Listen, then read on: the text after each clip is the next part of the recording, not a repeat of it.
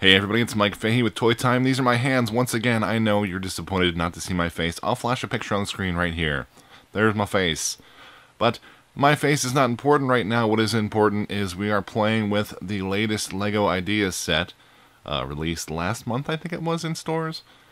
Uh, this is the LEGO Maze. Here's the box for it over here, which will not get in shot. I'll get really close. Look at that. That's camera work for you. That's the Lego Maze. Comes in a big box, runs for about $69.95, $70. It's on the more expensive side for Lego Ideas. And what this is, is a fully functional version of the classic Labyrinth game. Uh, you may have seen these back in the 80s when I was growing up. They were everywhere. Every gift shop had one. They were made of wood.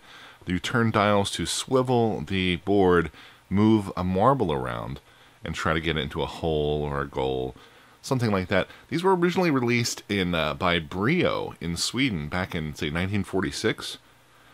Uh, but they caught on fire on, in America, not literally on fire. I mean, I guess some of them did, but they caught on fire in America, and they started showing up everywhere. And I don't think they were ever, ever officially licensed. This gained 10,000 votes on the Lego Ideas website because it is very freaking cool. What a great idea to use Legos to recreate this classic game.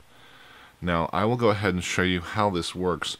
Uh, first off, Jason Allemann uh, was the Lego fan who designed this. Uh, he did a brilliant job. Now you'll notice we have knobs on either side of the board, but they're not doing much.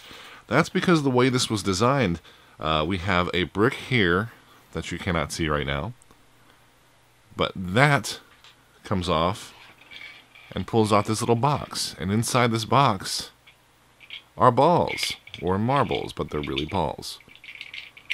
So this container serves as both both a stop for when you're transporting the unit, as well as a handy storage device. Let's go ahead and put this here. Now there is one more block over here, and that just, well, that just fell into the thing. Hopefully it'll still work. So, oh, I've already failed. I've already failed. So the idea here is, and I'm going to fail,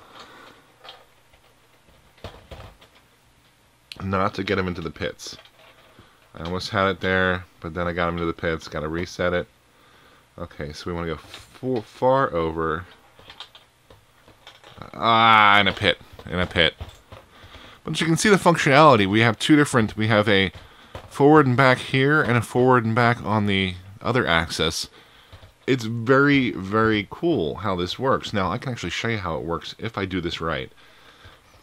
Uh, let's see if I can take this out without destroying the whole entire thing. First, put the ball away. Here. And then this table plate thing, it's actually in there pretty snug. There we go. So this is the table plate. And what's cool about this is you can actually take these bits off and reconfigure it any way you want, which is different from the original Maze game, of course, which was just made of wood or steel or whatever. Now let's look inside here real quick so I can show you the mechanisms, as well as this black box that shouldn't be in there. And it's really, really quite simple and ingenious. We have like a little knob here. See that yellow lever moving? Moves it back and forth. Simple Lego pieces. Same over here.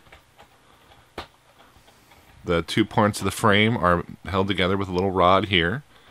And that's very cool. Now you'll also notice that I have many extra pieces here. Uh, the official handbook, which is here, very thick and meaty, as with all IDEA handbooks, comes with two suggestions for putting together tables. I'm going to go ahead and put the second one together in real time. First, I've got to take all the bits off this and just sit there and watch while I do this. One real time later, we have this. That boring little ball maze is now a magnificent medieval village. Little houses on the hillside made of Lego blockies. Some little tower, a little tunnel to go through, a fortress to make yourself go into. Let's see if we can... Oh, look at that. I took off a little bit of the piece there, trying to get it in. Let's go ahead and put this in.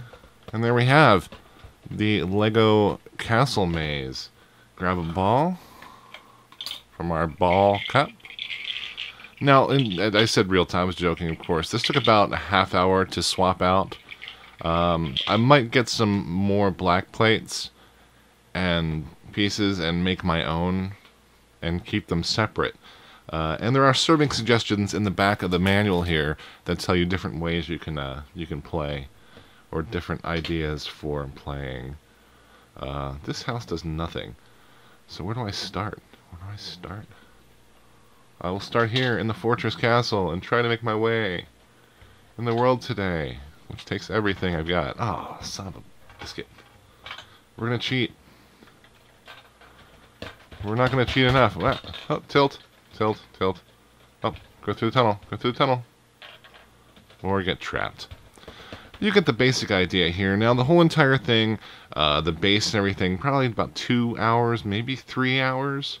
Uh, it comes in a lot of bags. I'll toss up a picture here. Comes in a lot of bags that are unmarked. I sorted everything by color first to make it easier.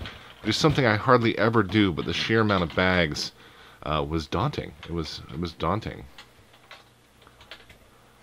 But this is a neat recreation of a classic toy, uh, using a another classic toy basically.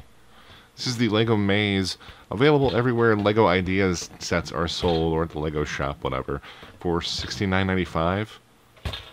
I can tilt it, I can tilt it, there we go. And I'm trapped again. I'm going to make a maze with no holes, and that way I can finish it. Thanks for watching, everybody.